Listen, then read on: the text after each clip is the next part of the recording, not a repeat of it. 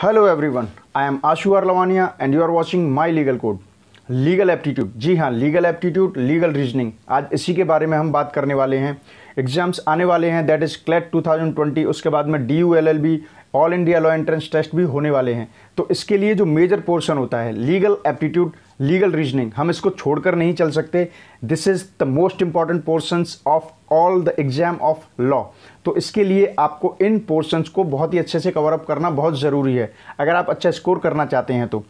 देखिए legal reasoning legal aptitude जो portion होता है no doubt this is the most important portion of all law exams लेकिन इसमें ऐसा कुछ नहीं है, जब भी क्वेश्चन आता है I have seen a lots of students वो क्या कहते हैं कि जैसे ही कोई क्वेश्चन आया, वो डर जाते हैं। वो कहते हैं, यार, ये किस तरीके से सॉल्व होगा? इसमें क्या है? अभी हम लॉयर बने थोड़े ही ना हैं। ये किस तरीके के क्वेश्चंस पूछ रहे हैं? ऐसा नहीं होता। देखिए, वो सारे क्वेश्चन बिल्कुल कॉमन लॉजिक के होते हैं। डेली रूटीन में क्या सही है, क्या गलत है, इससे रिलेटेड होते हैं। तो आपको बिल्कुल घबराने की ज़रूरत नहीं है। इस वीडियो को पूरा देखिए। इसमें मैं जो आपको स्टेप्स बताऊँगा, आप उन स्टेप्स के थ्रू चलेंगे। विद इन टेन सेकेंड्स आप कितना भी टफ क्वेश्चन आपको लगता हो, आप लीगल एप्टीट्यूड लीगल रीजनिंग का उस क्वेश्चन को बड़ा ईजीली आउटपुट दे सकते हैं आंसर तक पहुँच जाएँगे। तो आज हम इसी के बारे में चर्चा करेंगे, लेकिन उससे पहले आप हमें फॉलो कर सकते हैं इंस्टाग्राम फेसबुक ट्विटर व टेलीग्राम पर। आपको सर्च करना है माई लीगल कोड और उसे सब्सक्राइब कीजिए। आप इस लेक्चर का पीडीएफ भी डाउनलोड कर सकते हैं टेलीग्राम से। तो चलिए शुरू करते हैं लीगल एप्टीट्यूड लीगल रीजनिंग के टॉपिक को। देखिए, सबसे पहले हम एक छोटी बात समझते हैं कि why legal aptitude legal reasonings are tested during the test L entrance test में आपकी लीगल रीजनिंग लीगल एप्टीट्यूड से क्या जज किया जाता है? देखिए, आपको लॉ स्टडी करना है। ये एक अलग ही तरीके का सब्जेक्ट है। आपको एक अच्छा लॉयर बनना है, ठीक है? तो यहाँ पर सब कुछ फैक्चुअल सिचुएशंस पर चलता है। तो एलएलबी एंट्रेंस आपकी एक स्किल्स को जज करता है इन क्वेश्चंस के माध्यम से कि आप फैक्ट्स का यूज़ करते हुए बिल्कुल करेक्ट जगह पर आई मीन करेक्ट आंसर पर कैसे पहुँचते हैं। इसीलिए इस एंट्रेंस टेस्ट में लीगल एप्टीट्यूड लीगल रीजनिंग का पोर्शन दिया गया है। तो सबसे पहले तो आप ये जान लीजिए, आपको अपनी स्किल्स दिखानी पड़ेंगी। आपके सामने जब प्रीवियस ईयर्स के क्वेश्चंस आप देखेंगे, जितने भी प्रीवियस ईयर क्वेश्चन पेपर हैं, आप उनमें जाएँगे लीगल एप्टीट्यूड लीगल रीजनिंग के क्वेश्चंस को सबसे पहले फेस करेंगे तो आपको एक ही बात पता चलेगी कि उसमें आपका थॉट प्रोसेस चेक किया जाता है, आप अपने थॉट प्रोसेस को किस तरीके से चलाते हैं और करेक्ट आंसर तक पहुँचते हैं। तो वहाँ पर आपको ये पता चलेगा कुछ क्वेश्चन को फेस करने के बाद। और जब इन क्वेश्चंस को आप करते जाएँगे तो आपको एक बात और समझ में आएगी कि इन क्वेश्चंस को करते करते आप कई जगह फंस जाते हैं। मतलब बायस्ड रहते हैं, आपको पता नहीं चल पाता, आपको लगता है कि ये भी सही है, ये भी सही है, ये सिचुएशन सही है, ये हो सकता है। लेकिन उनमें से होते हुए clear cut with facts on the basis of facts आप अपने थॉट प्रोसेस को डेवलप करते हैं और बिल्कुल कहते हैं ना एक्सप्लिसिट आंसर को टिक करते हैं। बिल्कुल रियल आंसर पर पहुँचते हैं करेक्ट आंसर पर पहुँचते हैं। इसी डेवलपमेंट को जज किया जाता है एलएलबी एंट्रेंस टेस्ट में लीगल एप्टीट्यूड लीगल रीजनिंग के द्वारा। तो फाइनली आपकी इसी स्किल को डेवलप करने के लिए लीगल एप्टीट्यूड लीगल रीजनिंग का जब भी क्वेश्चन आपके सामने आएगा तो आप किस तरीके से स्टेप अप करेंगे वन बाई वन स्टेप को फॉलो करते हुए कम टाइम में ज़्यादा output I I mean mean, सही आंसर तक पहुँचेंगे। इसी के बारे में मैं यहाँ पे आपको बताने वाला हूँ। देखिए यहाँ पर मैंने आपको एक क्वेश्चन दे रखा है। बिल्कुल समझ लीजिए आपका जो पेपर होगा एग्ज़ाम पेपर होगा उसमें इसी तरीके से क्वेश्चन आएगा। डिट्टो अब आपको इसे कैसे सॉल्व करना है इसी के मैं जो स्टेप अप बताऊँगा। आपको उनको फॉलो करना है कॉन्सेंट्रेट होकर सुनिएगा मुझे। सबसे पहले तो लीगल प्रिंसिपल फैक्चुअल सिचुएशंस ये दो पॉइंट होते हैं। लीगल एप्टीट्यूड का जब भी क्वेश्चन आपके सामने आएगा, ये दो पॉइंट होंगे। लीगल प्रिंसिपल वो पॉइंट होता है जिसमें कि आपको बताया जाता है कि लॉ क्या है, क्या कानून है, किसके अंतर्गत रहते हुए आपको फैक्ट्स को पढ़ने के बाद डिसीज़न लेना है। और फैक्चुअल सिचुएशन मतलब एक फैक्चुअल सिचुएशन दी हुई है। आपके सामने मान लीजिए आप लॉयर हैं, आपके सामने एक सिचुएशन आ गई तो आप लीगल प्रिंसिपल, लॉ को फॉलो करते हुए जो आपको शुरुआती लीगल प्रिंसिपल में जो आपको कानून बताया गया है, उसको फॉलो करते हुए आप किस तरीके से राइट right डिसीज़न तक पहुँचेंगे।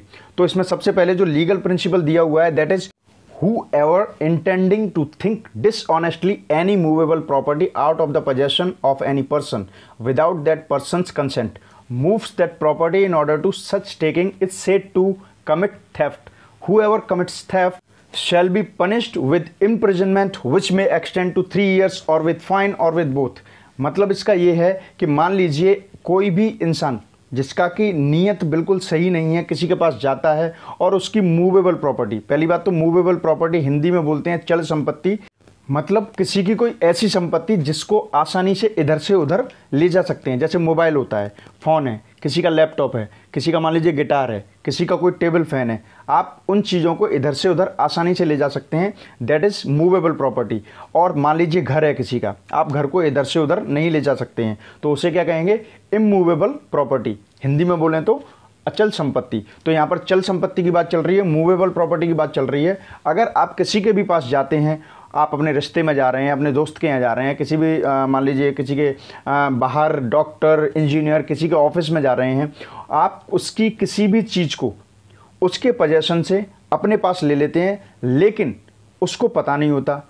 उसके पजेशन वाली चीज़ आपने ली लेकिन आपने उसकी कंसेंट नहीं ली उसकी मंजूरी नहीं ली तो इस सिचुएशन में उसे चोरी का दर्जा दिया जाएगा चोरी की श्रेणी में रखा जाएगा जिसे कहते हैं थेफ्ट और अगर किसी को भी थेफ्ट करते हुए पाया गया अगर किसी ने इस तरीके का कोई कानूनी अपराध किया है तो उसको तीन साल की सज़ा या फाइन या इन दोनों से दंडित किया जा सकता है। ठीक है? तो ये है आपका legal principal.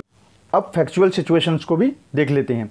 Suraj sees a ring belonging to Neeraj lying on a table in Neeraj house not venturing to misappropriate the ring immediately for fear of search and detection Suraj hides the ring under the sofa cover where it is highly improbable that it will ever be found by Neeraj. Suraj has the intention of taking the ring from the hiding place and selling it when the loss is forgotten. यहाँ factual situation बिल्कुल clear है। सूरज नीरज के घर जाता है। वहाँ पर उसके पास एक टेबल होती है। टेबल पर उसकी एक रिंग रखी रहती है। ठीक है? अब उसको गलत इंटेंशन से सोचते हुए उसने क्या किया कि उसको जो रिंग है, उसको सोफ़ा कवर के नीचे छुपा दिया।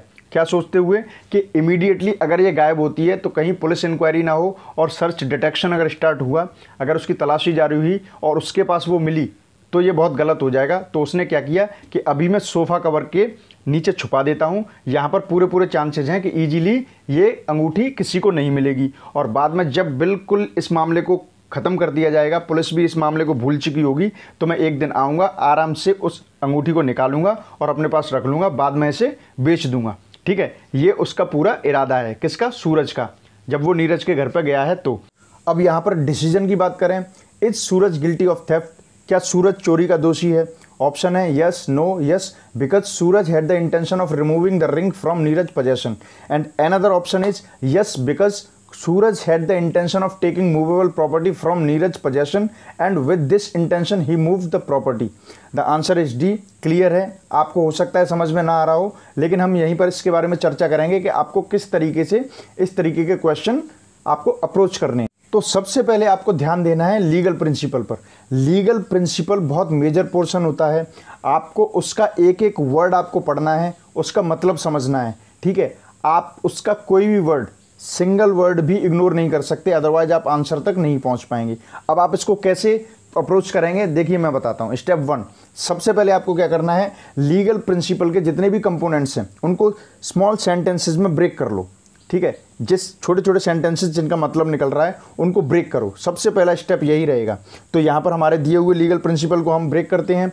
हु एवर जो कोई भी intending to take dishonestly बेईमानी के इरादे से any movable property out of the possession of any person without the person's consent मतलब कि कोई भी मूवेबल प्रॉपर्टी कोई भी चल संपत्ति किसी और इंसान का जिस पे हक है, उसकी मर्ज़ी के बिना, उसके अधिकार क्षेत्र से या उससे अपने पोजेशन में ले लेता है। मतलब क्लियर है, एक बार फिर बोल देता हूँ कि किसी भी इंसान से उसकी चल संपत्ति मूवेबल प्रॉपर्टी को उसकी बिना मंजूरी के आप अपने पोजेशन में ले लेते हैं।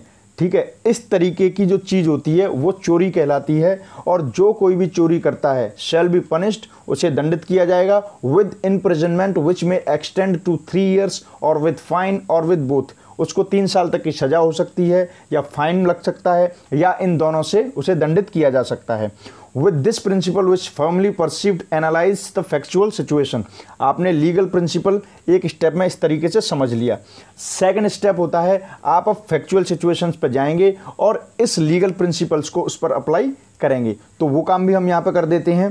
चलते हैं फैक्चुअल सिचुएशंस पर। हमने यहाँ पर भी समझने के लिए सेकंड स्टेप में क्या किया कि फैक्चुअल सिचुएशंस को भी ब्रेक कर लो, थोड़ा सा छोटा कर लो तो और अच्छे से समझ में आएगा लीगल प्रिंसिपल्स को अप्लाई करने में। तो सबसे पहला पॉइंट है, Suraj sees a ring belonging to Neeraj lying on a table in Neeraj house जो पहला पोर्सन है आपका फैक्चुअल सिचुएशंस का, वो ये है कि सूरज ने क्या देखा? नीरज के घर में नीरज के पास में एक टेबल है, वहाँ पर एक रिंग रखी हुई है। क्या रखी हुई है? रिंग उसके बाद अगली बात not venturing to misappropriate the ring immediately for fear of search and detection उसका इरादा गलत था, लेकिन उसने इमीडिएटली क्या किया कि अगर वो चोरी करेगा, उसने सोचा और फटाफट सर्च एंड डिटेक्शन हुआ। पुलिस में इंक्वायरी हुई या पुलिस ने इंक्वायरी की तो उसे अगर पकड़ लिया गया तो वो ठीक नहीं रहेगा उसके लिए तो उसने एक गलत इरादा बनाया। उस इरादे के चलते उसने क्या किया? Suraj hides the ring under the sofa cover where it is highly improbable that it will ever be found by Neeraj. उसने वहीं पर सोफा कवर के नीचे उस रिंग को छुपा दिया। क्या सोच करके? क्योंकि उसने सोचा कि कुछ भी हो जाएगा, यहाँ से उस रिंग को ये नीरज जो है ढूंढ नहीं पाएगा। मतलब किसी भी तरीके से ये रिंग सोफा कवर के नीचे रहेगी और कोई आइडिया भी नहीं लगा सकता है कि वो रिंग यहाँ पर रखी हुई होगी और जिस टाइम पर Suraj has the intention of taking the ring from the hiding place and selling it when the loss is forgotten Suraj क्या करेगा? जब पूरी इन्वेस्टिगेशन ओवर हो जाएगी रिंग नहीं मिलेगी 99 चांस है कि रिंग नहीं मिलेगी। और रिंग जब नहीं मिलेगी, पूरा केस क्लोज हो जाएगा तो आराम से आएगा और वो उस जगह से उस रिंग को ले लेगा, बाद में क्या करेगा, उसे वो बेच देगा, उससे पैसे बना लेगा। आई होप आपको यहाँ पर बिल्कुल क्लियर हुआ होगा। अब चलो, इस सिचुएशन को पूरा री एनालाइज करते हैं। इसको दोबारा देखते हैं। हमने दो, जो भी लीगल प्रिंसिपल और फैक्चुअल सिचुएशंस को इंडिविजुअली ब्रेक किया है, अब इसको री एनालाइज करते हैं। ये हमारा अगला स्टेप है। तो देखिए, इसको री एनालाइज करेंगे तो हु एवर जो हमने ब्रेक किया था legal principle whoever Suraj. कौन था? Suraj. Intending to take dishonestly बेईमानी के इरादे से। तो यहाँ पर बेईमानी का इरादा क्या है? Suraj intention is dishonest because he ultimately wants to take the ring and sell it मतलब यहाँ पर सूरज का इरादा गलत था, बेईमानी वाला था, उसे अल्टीमेटली उसको चोरी करके बाद में बेचना था। ठीक है? तो यहाँ पर इरादे वाली बात आती है। Any movable property ring is movable property of course ठीक है? जो रिंग होती है वो मूवेबल प्रॉपर्टी है out of the possession of any person Suraj ने नीरज के पोजेशन से उसकी बिना मंजूरी के लिया without that person consent Neeraj की कोई भी उसमें मंजूरी नहीं थी मूव्स दैट प्रॉपर्टी तो नीरज की मंजूरी के बिना उसने वो प्रॉपर्टी अपनी तरफ़ मूव कर दी in order to such taking इस तरीके का जो उसने रिंग के साथ किया ये इस तरीके की चीज़ को हथियाना या लेना is set to commit theft चोरी कही जाती है सूरज कमिटेड थेफ्ट ठीक है whoever commits theft Suraj जिसने की चोरी की, सूरज ने जो चोरी की है, उसे पनिशमेंट मिलेगा। क्या क्या मिल सकता है? तीन साल तक की सज़ा फाइन या इन दोनों से उसे दंडित किया जा सकता है। The great benefit of this method of analysis is that you not only arrive at the correct answer you arrive so far the right reasons this is important because the choices invariably test your reasoning power. देखिए, ये बहुत बड़ा benefit है, जो मैंने पूरा method बताया है। इस पूरे मेथड का बहुत बड़ा बेनिफिट है। आप इससे बिल्कुल करेक्ट आंसर पे आते हैं। किसी तरीके का कोई भी कंफ्यूजन नहीं रहता। बिल्कुल करेक्ट आंसर पे आप आएँगे एक्सप्लिसिट वे में इन द क्लियर वे तो इसलिए आपको बिल्कुल घबराने की ज़रूरत नहीं है। जो स्टेप्स आपको बताए गए हैं, आपको सिर्फ़ वही फॉलो करने हैं फ़र्स्ट सेकंड थर्ड स्टेप्स इसके अलावा इधर उधर कुछ भी ध्यान नहीं देना है आपको। देखिए, आपने यहाँ पर फैक्चुअल सिचुएशंस को पढ़ा, उससे पहले लीगल प्रिंसिपल्स को पढ़ा स्टेप बाय स्टेप चले, आपने उनको ब्रेक किया अप्लाई किया, सब कुछ किया। आपको काफ़ी हद तक समझ में भी आ गया। अब अपने तरीके से मैं आपको एक अलग तरीके से भी समझाता हूँ। देखिए, वहाँ पर सूरज की बात चल रही थी मूवेबल प्रॉपर्टी चल संपत्ति को लेके। सोचिए, यहाँ पर नीरज का घर होता, ज़मीन जायदाद होती तो सूरज कभी चोरी कर पाता? क्यों? क्योंकि यहाँ पर इमूवेबल प्रॉपर्टी है, वो कहीं लेके भाग नहीं सकता, ठीक है? तो यहाँ पर इस केस में, ऐसे केस में कभी भी थेफ्ट नहीं हो सकता। एक दूसरी चीज़ ये होती है कि मान लीजिए सूरज ने मजाकिया तौर पर, जो दोस्तों में मज़ाक चलता है, रिश्तेदारों में मज़ाक चलता है, मजाकिया तौर पर नीरज के साथ मज़ाक कर दिया, अंगूठी छुपा दी, ठीक है? लेकिन उसका इंटेंशन नहीं था कि बाद में वो बेच देगा इन्वेस्टिगेशन ओवर हो जाएगी, पैसे बना लेगा, ऐसा कोई उसका इरादा नहीं था। तो इस केस में भी सूरज के ऊपर थेफ्ट के चार्जेस नहीं लगेंगे, क्योंकि ये थेफ्ट है ही नहीं। वो एक प्रैक्टिकल जोक चल रहा था। इसके अलावा एक आता है कि नीरज अपनी मर्ज़ी से सूरज को रिंग दे दे। बाद में भले ही सूरज लौटाए या ना लौटाए, वो एक अलग केस है, वो डिसऑनेस्ट का केस है। क्रिमिनल लॉ में सारी चीज़ों के पनिशमेंट हैं, लेकिन यहाँ पर थेफ्ट नहीं है। क्यों? क्योंकि उसने वो अंगूठी उससे चुराई नहीं, उसकी कंसेंट से ली है। तो थेफ्ट की बात करें तो यहाँ पर थेफ्ट नहीं है। We don't think this is theft okay लेकिन कभी कभी एनालाइज करते करते आप इतने सेल्फ इंडल्ज मत हो जाना कि आपको पता चले कि आप ये कहने लग जाओ कि डिसऑनेस्ट किया, ये किया, ये गलत है, वो है। वो सब है। क्रिमिनल लॉ में सबके पनिशमेंट हैं। लेकिन यहाँ पर हम थेफ्ट की बात कर रहे हैं। We are talking about theft only so we have to stick on this point don't go here and there and don't determine wrong things okay तो यहाँ तक आपको समझ में आया थेफ्ट क्या चीज़ है? एक केस में और थेफ्ट हो सकता है। मान लीजिए सूरज एक भिखारी है। उसने काफ़ी दिनों से कुछ खाया नहीं है। उसने देखा कि नीरज के घर में अंदर की तरफ़ कुछ पिकल रखा हुआ है, अचार रखा हुआ है। वो क्या करता है? गेट को ओपन करता है, अंदर जाके जार को उठाता है, उसमें से पिकल को खा लेता है और वो जब भागने की कोशिश कर रहा होता है तो उसे पकड़ लिया जाता है। तो इस केस में क्या हो गया कि सूरज ने वाकई में थेफ्ट किया है, क्योंकि एक तो उनकी प्रॉपर्टी मतलब पिकल, उनकी बिना मर्ज़ी के खा लिया। अब वो किस जगह पर वो उसके पेट में है। ठीक है? तो इसमें कहीं ना कहीं नीरज का नुकसान हुआ है। डिसऑनेस्टली उसने बिना मंजूरी के उनका पिकल अचार खा लिया। ठीक है? तो थेफ्ट तो हुआ है। अब यहाँ पर जो डिसऑनेस्ट का जो हम बार बार बात करते हैं, यहाँ पर कानूनी भाषा में डिसऑनेस्ट का मतलब ये होता है कि कानूनी रूप से गलत तरीके से किसी की प्रॉपर्टी का कोई नुकसान हो गया हो। यहाँ पर डिसऑनेस्ट का मतलब ये है। रॉन्गफुल लॉस गलत तरीके से कोई लॉस हो गया है किसी की प्रॉपर्टी का जो कानूनन सही नहीं है। ठीक है? इसलिए हम यहाँ पर डिसऑनेस्टली यूज़ करते हैं। तो ऐसे केस में भी ये थेफ्ट का ही केस है। भले ही उसे भूख लग रही थी, कुछ भी लग रहा था, लेकिन उसने एक ही प्रॉपर्टी में जाकर उनकी कंसेंट के बिना उसकी प्रॉपर्टी को खाया और वो अब कहाँ है? उसके स्टमक में। तो इस बात को याद रखना, इस केस में भी ये थेफ्ट ही होगा। हाँ आप लिबरल होके या एक ह्यूमैनिटी के तौर पर ये कह सकते हैं, उसे भूख लग रही थी, खा लिया। That's a different thing that's a different thing but we are talking about theft तो ये थेफ्ट है। क्यों? क्योंकि किसी की प्रॉपर्टी का लॉस हुआ है, उनकी मर्ज़ी के बिना किसी और ने उसका यूज़ कर लिया। हाँ देखिए तो ये जो मैंने आपको जो एग्ज़ाम्पल बताया है, कुछ स्टेप्स बताए हैं, आप इसको इसी तरीके से फॉलो कीजिएगा। फ़र्स्ट सेकंड थर्ड स्टेप आपको स्टार्टिंग में ये सब कुछ लिख करके करना है। जी हाँ आप बिल्कुल इन्हें लिख करके प्रैक्टिस कीजिएगा। आपको स्टार्टिंग में कुछ एक्सरसाइजेस मिलेंगी, मैं आपको समझाऊँगा। आपको स्टार्टिंग में लिख करके करेंगे, आपको ऑटोमेटिकली धीमे धीमे gradually you will come to know कि आपका मेंटल स्पीड और एक्यूरेसी इसमें बढ़ती जा रही है। और आपका जो कॉन्फिडेंस डाउन रहता था, वो भी काफ़ी डेवलप होता जाएगा। एक्यूरेसी बढ़ेगी स्पीड बढ़ेगी। I am hundred and one percent sure आपका एंट्रेंस टेस्ट बहुत अच्छा जाएगा। इस तरीके का, किसी भी तरीके का आप कोई क्वेश्चन नहीं छोड़ेंगे। तो यहाँ तक आपको, इस सेट में मैंने आपको यहाँ तक बताया है, एक एग्ज़ाम्पल भी बताया। लेकिन आगे के जो सेट्स हैं, उसमें मैं आपसे डिस्कस करूँगा। Areas of testing in legal aptitude reasoning in legal aptitude reasoning के क्वेश्चन जो आपके सामने आते हैं, उनमें किन किन एरियाज़ को डिस्कस करते हैं? किन किन एरियाज़ से रिलेटेड आपके सामने क्वेश्चन रखे जाते हैं?